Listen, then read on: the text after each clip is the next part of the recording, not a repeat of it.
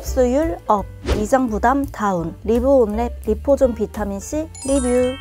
흡수율 끝판왕이라고 불리는 리포좀 영양제는 영양제 성분을 인지질로 코팅해 구 형태로 담아 위산과 담즙산, 온도로부터 영양제 성분을 보호해서 일반 영양제에 비해 영양 성분이 체내에 빠르게 분포하여 흡수된다고 합니다. 리브온랩 비타민C는 액상 타입으로 그냥 먹어도 되지만 특유의 맛이 있어 물 한 컵에 짜서 한 번에 마시는 것이 섭취하기 편합니다.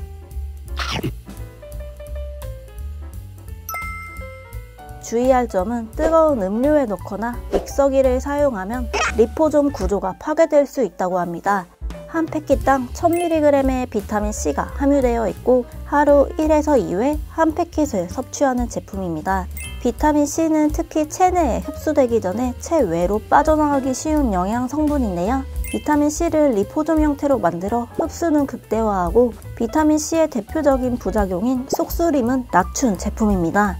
비타민C는 가장 기본적인 항산화 성분으로 면역 체계와 전반적인 건강 관리는 물론 주름 감소, 피부 탄력 증가에도 도움을 줍니다. 리브온랩 리포스페릭 비타민C 리뷰 끝!